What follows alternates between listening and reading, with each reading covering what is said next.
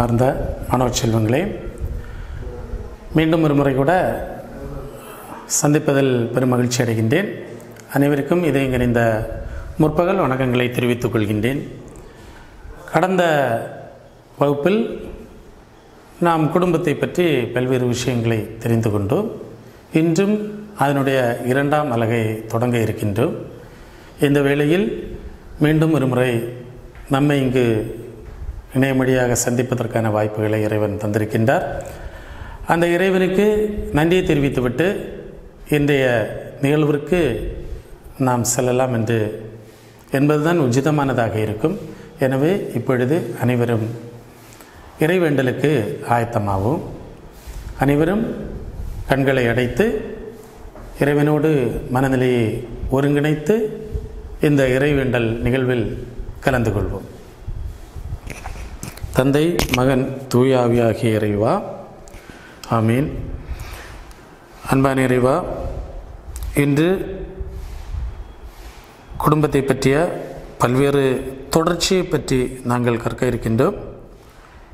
இந்த நேரத்தில் குடும்பம் தம்பதியரிடையான வாழ்வு இல்லற வாழ்வு சார்ந்து இரண்டாம் வத்திக்கான் திருச்சங்கம் என்ன சொல்கிறது என்பதை பற்றி சிந்திக்க இருக்கின்ற இந்த வேளையில் எந்த மனநிலையோடு வத்திக்கான் சங்க ஏடுகள் உருவாக்கப்பட்டதோ அதன் மனநிலையையும் அடிப்படைகளையும் நாங்கள் உணர்ந்து கொண்டு அவற்றை அறிந்து கொண்டு உணர்வுபூர்வமாக அதை புரிந்து கொள்வதற்கான ஆவியாரின் கொடைகளை எங்களுக்கு தாறுமுறைவா இன்று நாங்கள் சிந்திக்க இருக்கக்கூடிய பல்வேறு நிகழ்வுகள் பல்வேறு செயல்பாடுகள் பல்வேறு கருத்துகள் அனைத்தும் எங்களுக்கு புரியும் விதத்தில் மாற்றித்தாரும் ஒரு சிறந்த பயனுள்ள நேரமாக இந்த நேரத்தை மாற்றித்தாரும் நீர் கூட இருந்து தூய ஆவியார் வழியாக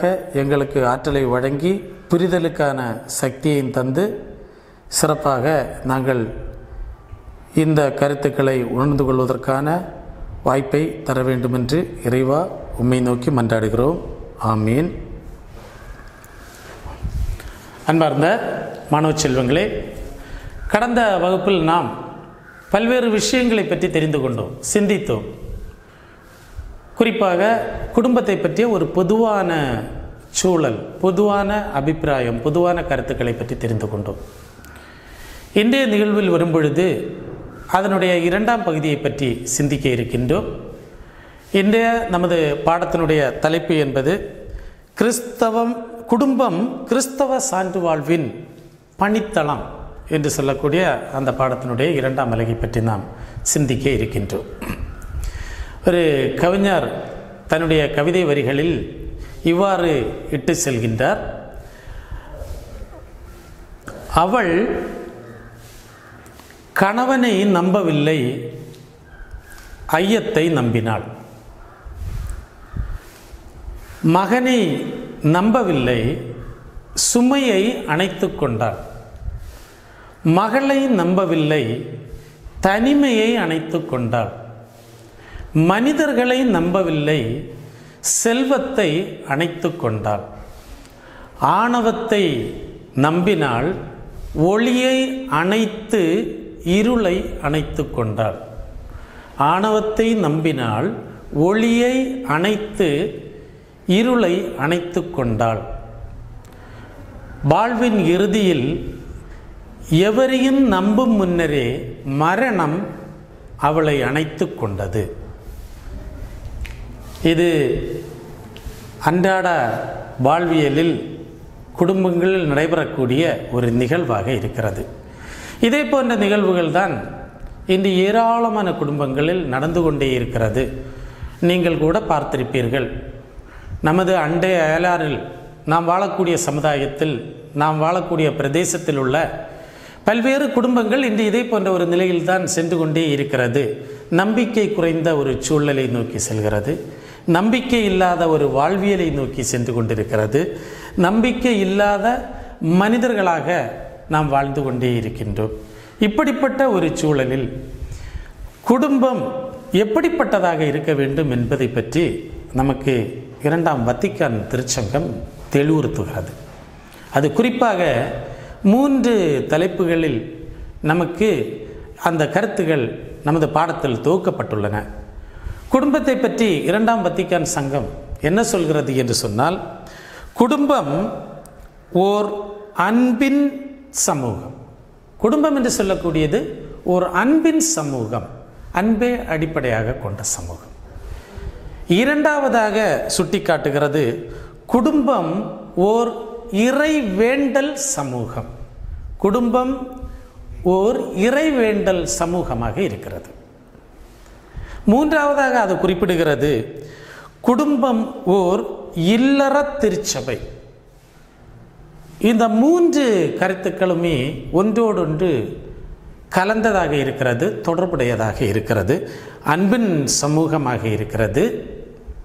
குடும்பம் ஒரு இறைவேண்டல் சமூகமாக இருக்கிறது. குடும்பம் ஒரு இல்லற திருச்சபையாக இருக்கிறது. இதில் அன்பின் சமூகம் என்று நாம் பார்க்கும் பொழுது குடும்பத்தினுடைய பார்வையில் பல்வேறு மாற்றங்கள் இருக்கிறது. குறிப்பாக குடும்பம் என்று சொல்லக்கூடிய ஒன்று கட்டப்படுகிறது. அது கட்டி எழுப்பப்படுகிறது. அதனுடைய கட்டுமானத்தை செய்யக்கூடியவர்கள் அந்த தம்பதியர். தம்பதியர்களால் இந்த குடும்பம் என்று சொல்லக்கூடிய கட்டுமானம் கட்டப்பட்டு அது வளர்த்து எடுக்கப்படுகிறது. எனவே குடும்பம் என்று சொல்லக்கூடியது கட்டி எழுப்பப்படுகிறது அன்பினால் கட்டி எழுப்பப்படுகிறது. ஒவ்வொரு குடும்பங்களுமே அன்பினால் கட்டி எழுப்பப்படுகின்ற நேரத்தில் அவை சிறந்த குடும்பமாக உயர்ந்த குடும்பமாக மாறுகிறது. எனவே கட்டுமானம் ஒரு குடும்பத்திற்கு என்னவென்று கேட்டால் அது அன்பாக இருக்கிறது. இந்த குடும்பத்தை அன்பு என்ற கட்டுமானத்தில் கட்டினாலும் அதை அமைத்தெடுக்கக்கூடியவர் யார் என்று கேட்டால் அது இறைவன். குடும்பங்களை அமைப்பவர் இறைவன். இறைவனால் அமைக்கப்படாத எந்த குடும்பங்களுமே குடும்பங்கள் அல்ல. அவை சிறந்த அமைப்பியலை கொண்ட குடும்பமாகவும் இருப்பது இல்லை. எனவே குடும்பம் அன்பினால் கட்டியெடுப்பப்படுகிறது என்று சொன்னால் அந்த அன்பை கொண்டு குடும்பத்தை அமைத்து நமக்கு தரக்கூடியவர் இறைவனாக இருக்கின்றார். இந்த குடும்பத்தை உற்பத்தி செய்யக்கூடிய காரணிகளாக இருப்பவர்கள் கணவனும் மனைவியரும். இந்த கணவன் மனைவியர் என்ற தம்பதியர் தங்களது இருவர் இடையேயான தம்பதியர் இடையேயான அன்பின் மூலமாக குடும்பங்களை உற்பத்தி செய்கின்றார்கள். எனவே சாதாரணமான ஒரு பார்வையில் நோக்க வேண்டிய ஒன்று அல்ல குடும்பம். குடும்பம் உற்பத்தி செய்யப்படுகிறது. இந்த குடும்பம் வளர்ச்சி பாதையை நோக்கி செல்ல வேண்டும் என்றால் அங்கே இறைவனுக்கும் மனிதனுக்கும் இடையேயான அன்பு தேவைப்படுகிறது.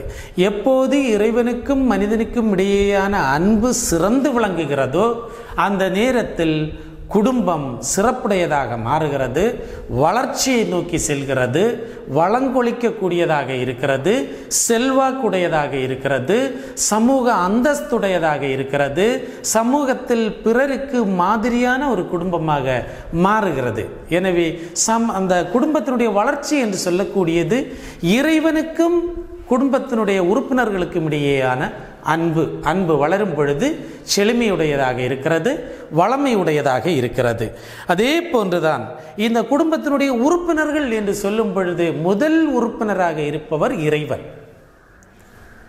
அடுத்ததாக கணவன் மனைவி பிள்ளைகள்.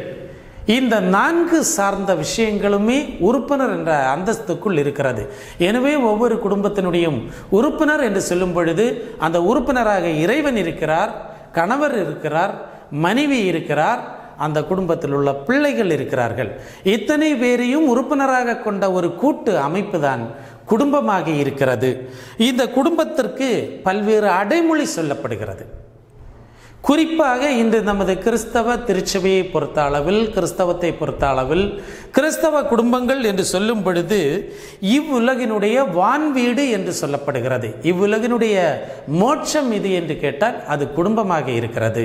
இவ்வுலகினுடைய வான்வீடு குடும்பமாக இருக்கிறது. இந்த குடும்பத்தில் மகிழ்ச்சி இல்லை என்று சொன்னால் அந்த வான்வீடு என்ற அடைமொழி குடும்பத்திற்கு பொருந்துவதாக இருக்காது. எனவே நாம் அன்பை செலுத்தி மகிழ்ச்சியோடு வாழும் பொழுது நம்முடைய குடும்பங்கள் எல்லாம் இந்த உலகத்தினுடைய மோட்சமாக வான்வீடாக மாறிக்கொண்டே இருக்கிறது என்பதை நாம் உணர்ந்து கொள்ள வேண்டிய நிலையில் இருக்கிறோம். அதே போன்றுதான் கடவுளின் திருவுளம் இந்த குடும்பங்களில் நிறைவேற வேண்டியிருக்கிறது கடவுளின் திருவுளம் எப்படி குடும்பங்களில் நிறைவேறும்? கடவுள் நேரடியாக வந்து தம்முடைய திருவுளத்தை நிறைவேற்றுவது இல்லை. இது பிள்ளைகள் வழியாக சாத்தியமாகிறது. பிள்ளைகள் தங்களுக்குள்ளே தங்களது அன்புகளை பகிர்ந்து கொள்ள வேண்டும். வெளிப்படையாக பகிர்ந்து கொள்ள வேண்டும். வெளிப்படையாக அன்புகளை பகிர்ந்து கொள்ளக்கூடிய நேரத்தில் வெளிப்படையாக கருத்துக்களை பகிர்ந்து கொள்ளக்கூடிய நேரத்தில் வெளிப்படையாக பழகக்கூடிய நேரத்தில் இந்த குடும்பங்களில் கடவுளின் திருவுளம் இறங்கி வருகிறது. எப்பொழுது மறைவுகளும் மறைப்புகளும் இருக்கிறதோ அந்த நேரத்தில் இறைவனுடைய திருவுளம் அங்கே பிரசன்னப்படுவது இல்லை. மாறாக அது குறைந்து கொண்டே செல்லும். எனவே இறைவனுடைய திருவுளம் சிறப்பாக வெளிப்படுத்தப்படுகின்ற வேளையில் அங்கே இறை சித்தம் வருகிறது. குடும்பத்தினுடைய பண்புகள் மலர்ச்சி உடையதாக மாறுகிறது.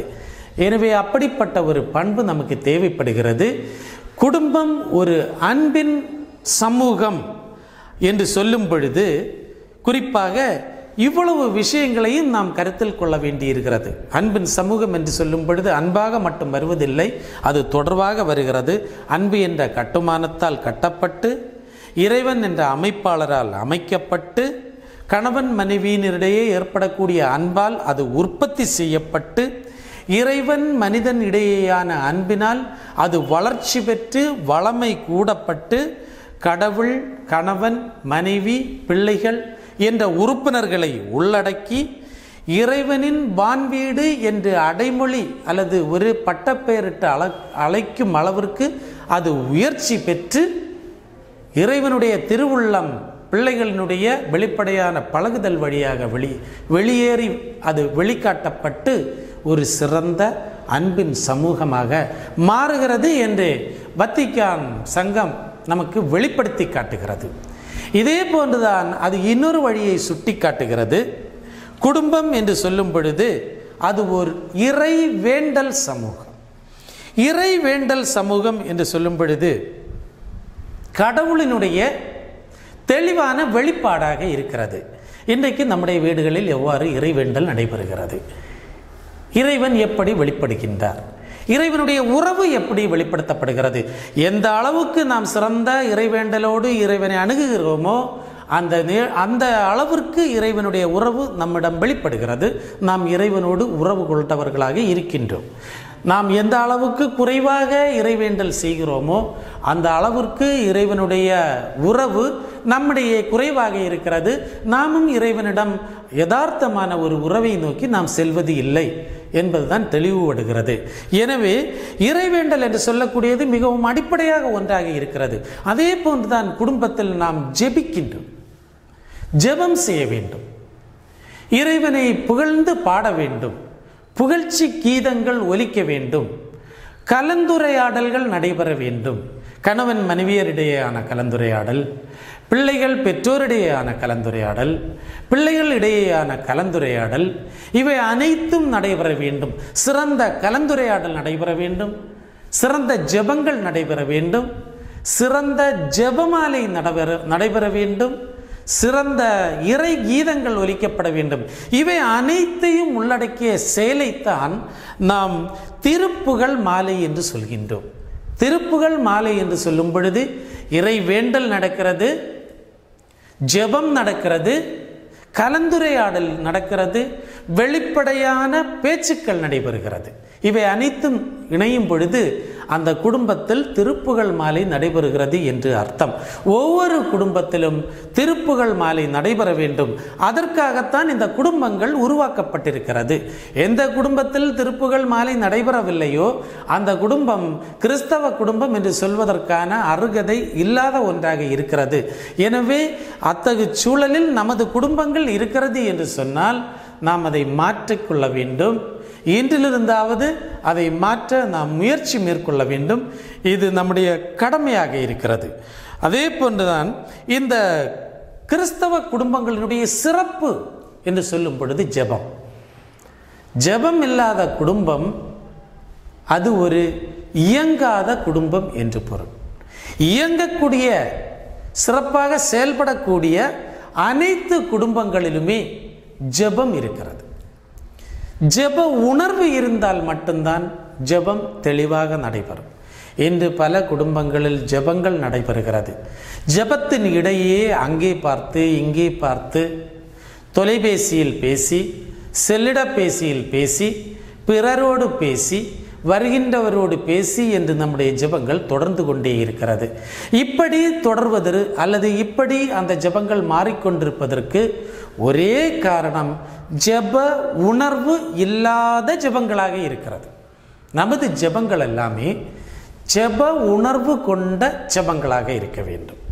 ஜெப உணர்வு இல்லாத ஜெபங்களால் எந்த பலனுமே நமக்கு விளையப்போவது இல்லை. அந்த ஜெபங்களால் எந்த பயனும் நடைபெறப் போவதில்லை அந்த ஜெபங்கள் மூலமாக இறைவன் நம்மிடம் பேசுவதும் இல்லை. நாம் இறைவனிடம் பேசுவதும் இல்லை.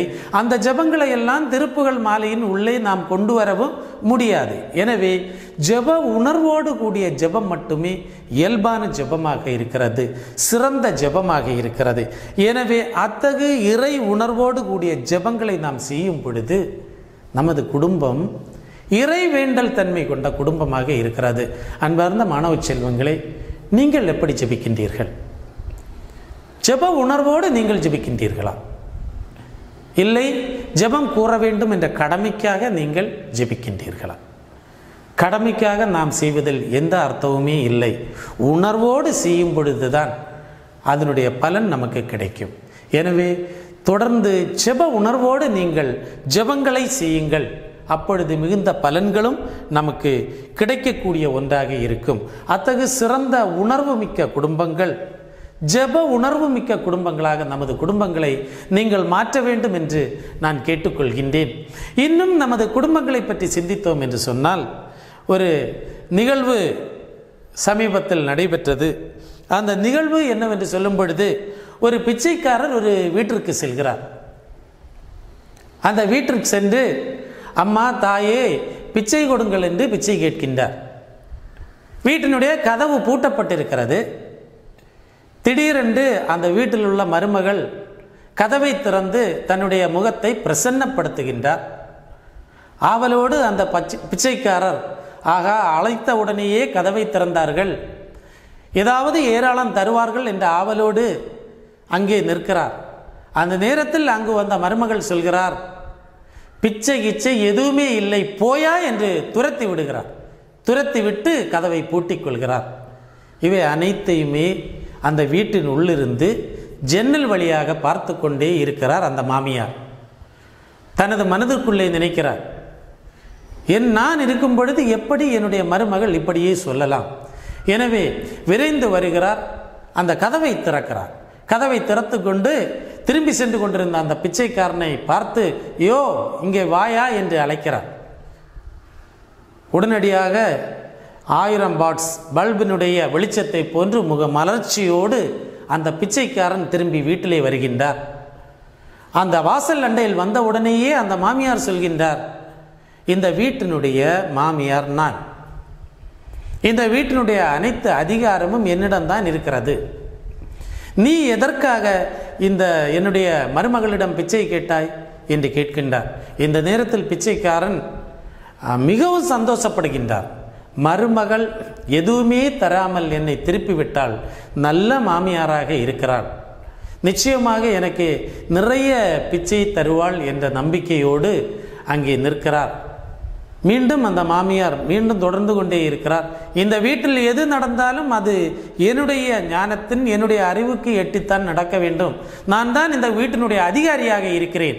எனவே அவள் உனக்கு பிச்சை இல்லை என்று சொல்வதற்கு என்ன இருக்கிறது? நான் சொல்கிறேன் உனக்கு பிச்சை கிச்சை எதுவும் இல்லையடா போடா என்று சொல்லி துரத்தி விடுகின்றார். இப்படி பிச்சை கொடுப்பதிலும் கூட அதிகாரத்தை காட்டக்கூடிய ஒரு தொனி இன்று சென்று கொண்டே இருக்கிறது.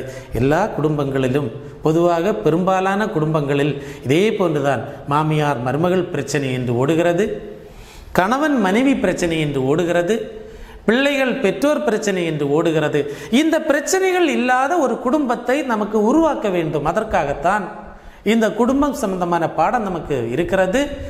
அந்த இரண்டாம் வத்திக்கான் சங்க ஏடுகள் குடும்பத்தை பற்றி சிறப்பாக கூறி செல்கின்றது. இன்னும் மூன்றாவதாக ஒரு கருத்தை கூட இரண்டாம் வத்திக்கான் சங்கம் நமக்கு தெளிவுபடுத்துகிறது. குடும்பம் என்று சொல்வது இறை மக்களினுடைய கூட்டமாக இருக்கிறது. அதைத்தான் தொடக்கத்திலே சொன்னோம். குடும்பம் ஓர் இல்லற திருச்சபை. இந்த இல்லற திருச்சபை என்று சொல்லக்கூடியது எப்படி உருவாகிறது? குடும்பம் ஒரு இறை மக்களின் கூட்டமாக இருக்கின்ற பொழுது குடும்பம் இல்லற திருச்சபையாக மாறுகின்றது. இல்லற திருச்சபை என்ற உயர்ந்த அந்தஸ்திற்கு குடும்பம் வரும்பொழுது அது ஒரு இறைவேண்டல் சமூகமாக மாறுவதோடு சிறந்த பயனுள்ள கருத்துக்களை நமக்கு தரக்கூடிய ஒரு உயர்ந்த நோக்குடையதாகவும் குடும்பம் மாறுகிறது. எனவே திருச்சபையினுடைய அடிப்படை கூறாக குடும்பங்கள் இருக்கிறது. இல்லற திருச்சபை என்று சொல்லும் பொழுது திருச்சபை வீட்டினுள்ளே இருக்கிறது என்று அர்த்தம். திருச்சபையினுடைய அடிப்படை கூறாக வீடு இருக்கிறது என்று அர்த்தம். குடும்பம் கிறிஸ்தவ திருச்சபையினுடைய அடிப்படை கூறாக இருக்கிறது. குறிப்பாக கத்தோலிக்க திருச்சபையின் அடிப்படை துகள் என்று சொல்லும் பொழுது குடும்பமாக இருக்கிறது. இதனால்தான் சொல்லாடல் வழியாக பலரும் சொல்வது வழக்கமாக இருக்கிறது. குடும்பம் ஒரு குட்டி திருச்சபை என்று சொல்வது. இது ஒரு சாதாரண சொல்லாடல் மட்டுமல்ல அது ஒரு நிஜமாக இருக்கிறது உண்மையாக இருக்கிறது உண்மையினுடைய வெளிப்பாடாக இருக்கிறது.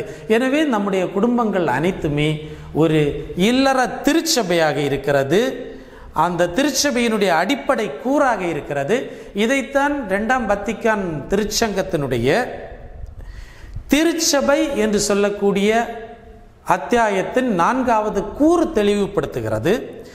தந்தை மகன் தூய ஆவி ஆகியோரிடையே உள்ள ஒற்றுமைகளோ ஒற்றுமையோடு ஒன்றிணைந்த ஒரு மக்கள் குலம். குடும்பம் என்பது தந்தை மகன் தூய ஆவி ஆகியோரிடையே உள்ள ஒற்றுமையோடு ஒருங்கிணைந்த ஒரு மக்கள் குலம் என்று சொல்கிறது. ஒரு குடும்பம் என்று சொன்னால் அது ஒரு மக்கள் குலமாக இருக்கிறது. ஏனென்றால் ஒரு குடும்பத்திலிருந்து தான் பல் அந்த ஒரு குலமே உருவாகிறது. ஆப்ரஹாமின் குலம் உருவாகி இருக்கிறது. ஈசாக்கின் குலம் உருவாகி இருக்கிறது. யாக்கோவின் குலம் உருவாகி இருக்கிறது. இஸ்ரேல் குலம் உருவாகி இருக்கிறது. ஒரு குடும்பத்திலிருந்து தான் ஒரு குலமே உருவாகி வந்து கொண்டே இருக்கிறது. எதிர்காலத்தில் நம்முடைய ஒவ்வொரு குடும்பங்களுமே ஒவ்வொரு குலமாக மாறும் என்பதுதான் இதனுடைய அடிப்படையாக இருக்கிறது. இதை உருவாக்கியவர் இறைவன். எனவே அந்த இறைவனுடைய பார்வையில் குடும்பம் இப்படிப்பட்டதாக இருக்கிறது. இந்த குடும்பத்திற்கு அச்சாணியாக இருக்கக்கூடியது திருமணம் என்று சொல்லக்கூடிய திருவருட்சாதனம். திருமணம் என்று சொல்லக்கூடிய திருவருட்சாதனத்தை பொறுத்த அளவில் இன்று பல்வேறு திருமணங்கள் நடைபெற்று கொண்டே இருக்கிறது. அது திருச்சபையால் அங்கீகரிக்கப்பட்ட திருமணங்களும் நடைபெறுகிறது. திருச்சபையால் அங்கீகரிக்கப்படாத திருமணங்கள் நடைபெற்று கொண்டிருக்கிறது. பல்வேறு திருச்சபை அங்கீகாரம் இல்லாமல் நடைபெறக்கூடிய திருமணங்கள் எல்லாம் பின்னர் பல்வேறு பொருத்தனைகளுக்கு உட்படுத்தப்பட்டு திருச்சபையின் கட்டளைகளுக்கு இணங்கி அது புனரமைக்கப்பட்டு திருச்சபையின் திருமணமாக மாற்றப்படுகிறது. நமது அண்டை அயலாரில் இடையே நாம் சார்ந்திருக்கக்கூடிய சமுதாயத்தில் திருச்சபை விதிமீறிய திருமணங்கள் ஏதேனும் நம்முடைய சகோதரர்களிடையே நடைபெற்றிருக்கிறது என்று சொன்னால் அந்த திருமணங்களை திருச்சபைக்கு உகந்த திருமணங்களாக ஆலயத்திற்கு அவர்களை அழைத்து வந்து மாற்ற வேண்டிய கடமையும் பொறுப்பும் நமக்கு இருக்கிறது. அந்த பொறுப்புகளை நாம் செய்ய வேண்டும். அது நம்முடைய கடமையாக இருக்கிறது. எனவே அத்தகு சிறந்த தெளிவு நமக்கு தேவைப்படுகிறது. நாம் நம்முடைய வாழ்வில் வரும்பொழுது திருச்சபையோடு இணைந்து திருச்சபையோடு ஒத்து வாழக்கூடிய வாழ்க்கையை வாழ வேண்டும். திரு ஆட்சி அமைப்பையும் திருச்சபையினுடைய கட்டமைப்புகளையும் அங்கீகரிக்கக்கூடியவர்களாக மாற வேண்டும். நமக்கு தெரியும் புனித தாமஸ் மூர். அவர் திருச்சபையினுடைய கட்டளைகளுக்காக தனது உயிரை கொடுத்தவர். திரு ஆட்சி அமைப்புக்கு எதிராக மன்னர் உயர்ந்த பொழுது மன்னரென்று கூடாமல் மன்னரென்று கூட பார்க்காமல் அவரையே துணிவோடு எதிர்த்து நின்று திருச்சபைக்கு சான்று பகர்ந்து இன்று புனிதராக நம்மிடையே வாழ்ந்து கொண்டிருக்கக்கூடியவர். அப்படிப்பட்ட அந்த புனிதர் இன்று பொதுநிலையினரின் புனிதர் என்று அழைக்கப்படுகின்றார். அதே போன்று நாமும் பொதுநிலையினராக இருக்கிறோம். இந்த திருச்சபை சார்ந்த விஷயத்தில் குடும்பம் சார்ந்த விஷயத்தில் நாம் எடுத்துக்காட்டாக திகழ வேண்டும். அதற்குத்தான் இந்த இரண்டாம் வத்திக்கான் திருச்சங்கம் நமக்கு பல்வேறு அறிவுரைகளை வழங்கி இருக்கிறது ஆக இந்த அறிவுரைகளினுடைய அடிப்படையில் நாம் நோக்கும் பொழுது திருச்சபை என்று சொல்லக்கூடியது எவ்வாறு இருக்கிறது? திருச்சபை வத்திக்கான் சங்கத்தினுடைய பார்வையில் குடும்பம் என்று சொல்வது திருச்சபையினுடைய அடிப்படை கூறாக இருக்கிறது. அதைத்தான் சொல்கிறது குடும்பம் ஓர் அன்பின் சமூகமாக இருக்கிறது. குடும்பம் ஓர் இறைவேண்டல் சமூகமாக இருக்கிறது. குடும்பம் ஓர் இல்லற திருச்சபையாக இருக்கிறது. அன்பார்ந்த மாணவ செல்வங்களே நீங்கள் உங்களுடைய குடும்பங்களை அன்பின் சமூகமாக மாற்றுங்கள் ஒரு இல்லற திருச்சபையாக மாற்றுங்கள். ஓர் இறைவேண்டல் சமூகமாக மாற்றுங்கள். அதற்கு இன்று நாம் பகிர்ந்து கொண்ட கருத்துக்களும் நாம் உரையாடிய நிகழ்வுகளும் அதற்கு உறுதுணையாக அமையட்டும் என்று உங்களை நான் வாழ்த்துகின்றேன். இந்த நேரத்தில் உங்களுக்கு இந்த கருத்துக்கள் எல்லாம் தெளிவாக புரிந்திருக்கும் என்று நான் நினைக்கின்றேன். இந்த கருத்துக்களினுடைய அடிப்படையில் உங்களுக்கு ஒரு சிறு பயிற்சியை அளிக்கின்றேன். கடந்த வாரம் உங்களுக்கு அளிக்கப்பட்ட பயிற்சியை நீங்கள் அனைவருமே செய்து முடித்திருப்பீர்கள். உங்களுடைய வகுப்பு ஆசிரியர்களுக்கு புலனம் வழியாகவோ நேரடியாகவோ நீங்கள் அந்த பயிற்சிகளை செய்து கொடுத்திருப்பீர்கள் என்று நான் நம்புகிறேன். உங்களுக்கு வாழ்த்துக்களை தெரிவித்துக் கொள்கிறேன். மேலும் இந்த வாரத்தில் உங்களுக்கு எளிய ஒரு பயிற்சியை அளிக்கின்றேன். குடும்பம் பற்றி இரண்டாம் வத்திக்கான் சங்கம் கூறக்கூடிய மூன்று கருத்துக்கள் யாவை? குடும்பம் பற்றி இரண்டாம் வத்திக்கான் சங்கம் கூறக்கூடிய மூன்று கருத்துக்கள் யாவை என்பதை நீங்கள் குறிப்பிடுங்கள். அதோடு ஒரு குடும்பத்தினுடைய உறுப்பினர்கள் யார் யார்? குடும்பத்தினுடைய உறுப்பினர்கள் யார் யார்? இந்த இரண்டு சிறிய பயிற்சிகளையும் நீங்கள் செய்து புலனக்குழுக்கள் வழியாக உங்களுடைய ஆசிரியரோடு தொடர்பு கொள்ளுங்கள். அல்லது ஆசிரியரை நேரடியாக சந்தித்து அவர்களிடம் நீங்கள் உங்களுடைய பயிற்சிகளை பயிற்சி சார்ந்த முடிவுகளை தெரிவியுங்கள். நிச்சயமாக இறைவன் உங்களை ஆசீர்வதிப்பாராக. அனைவருக்கும் நான் நன்றியை கூறிக்கொள்கிறேன். இப்பொழுது இந்த நிகழ்வினுடைய இறுதியாக நாம் இறைவேண்டல் புரிவோம். இவ்வளவு வசதிகளை நமக்கு செய்து தந்த இறைவனுக்கு நன்றியை தெரிவித்துக் கொள்கிறோம். அதற்கு நீங்கள் ஆயத்தமாகுங்கள். தந்தை மகன் தூயாவியின் பேராலே ஆமீன். அன்பு நிறைந்த இறைவா இன்று நாங்கள் குடும்பம் ஒரு சிறந்த பணித்தளமாக இருக்கிறது. அதை பற்றி எவ்வாறு குடும்பங்கள் அமைய வேண்டும் என்பதை பற்றி இரண்டாம் வத்திக்கான் சங்க ஏடுகள் குறிப்பிட்ட கருத்துக்களை பற்றி நாங்கள் இப்பொழுது சிந்தித்தோம். அவற்றை பற்றி உணர்வதற்கான ஒரு சிறந்த வாய்ப்பை எங்களுக்கு நீர் தந்தீர். இறைவன் நாங்கள் உமக்கு நன்றியை கூறுகிறோம். இந்த இணையம் வழியாக உங்களை தொடர்பு கொள்வதற்கு இன்றும் இந்த ஒலிப்பதிவுகளை மேற்கொண்டு நமக்கு உதவிகள் செய்து கொண்டிருக்கக்கூடிய அர்ப்பணியாளர் ரோபின்ஸ் அவர்களையும் அதோடு அர்ப்பணியாளர் அபிலாஷ் அவர்களையும் இங்கு இந்த நிகழ்வில் கலந்து கொண்டிருக்கக்கூடிய அன்பு சகோதரர்களையும் உம்முடைய கரங்களில் ஒப்படைத்து ஜெபிக்கின்றோம் இறைவா. அவர்களை ஆசீர்வதியும். உமது கரத்தால் அவர்கள் மேலும் சிறப்பாக இன்னும் பல பயிற்சி பயிற்சிகளும் இதே போன்ற பதிவுகளையும் மேற்கொண்டு இந்த சமூகத்திற்கும் நமது மறைமாவட்டிற்கும் பயனுள்ள விதத்தில் அவர்கள் உழைப்பதற்கான ஏராளமான வலிமையான ஆற்றல்களை அவர்களுக்கு கொடுத்து தாரும். இந்த அன்பு மாணவ செல்வங்களை ஆசிர்வதியும் இறைவா. அவர்கள் கேட்ட உணர்ந்த அறிந்து கொண்ட இந்த கருத்துக்கள் எல்லாம் அவர்களுடைய வாழ்வு வழியாக அவர்கள் தொடர் வாழ்விலும் இந்த உலகியல் வாழ்விலும் பயன்படுத்தி திருச்சபைக்கு சான்றுகளாக மாறுவதற்கான வாய்ப்பை கொடுத்து தாரும். மேலும் தொடர்ந்து வரக்கூடிய காலங்களில் இந்த பல்வேறு கொரோனா தொற்றாலும் பல்வேறு நோய்களாலும் அல்லல்பட்டு கொண்டிருக்கக்கூடிய எங்கள் சகோதரர்களை ஆசிர்வதியும். அவர்களுக்காக மன்றாடுவதற்கும் அவர்களுக்காக உதவி பெறுவதற்குமான வாய்ப்பையும் ஆற்றலையும் மனநிலையையும் எங்களுக்கு தாரும். இந்த பிள்ளைகளையும் ஆசீர்வதியும் உம்மோடு இந்த சில மணித்துளி நேரத்தை செலவிடுவதற்கான வாய்ப்பை தந்தீர். உமக்கு நன்றியை கூறுகிறோம். இறைவா எங்களுடைய அனைத்து செயல்களிலும் வாழ்விலும் கருத்துக்களிலும் சிந்தனைகளிலும் நீர் கூட இருந்து நாங்கள் சிறந்த குடும்பங்களாக அன்பின் சமூகமாக இறைவேண்டல் சமூகமாக இல்லற திருச்சபை சமூகமாக வாழ்வதற்கான ஆற்றலை தர வேண்டும் என்று உம்மை நோக்கி மன்றாடுகிறோம். எங்களுடைய ஜெபத்தை கேட்டுத்தாரும் அன்பு தந்தையே. ஆமேன். அனைவருக்கும் ஒருமுறை கூட நன்றியை கூறிக்கொள்கிறோம். இந்த கொரோனா காலத்தில் அரசினுடைய நெறிமுறைகளுக்கு கட்டுப்பட்டு நாம் தனித்திருப்போம் தவிர்த்திருப்போம் கிறிஸ்து இயேசுவில் ஒன்றித்திருப்போம். அனைவருக்கும் நன்றி வணக்கம்.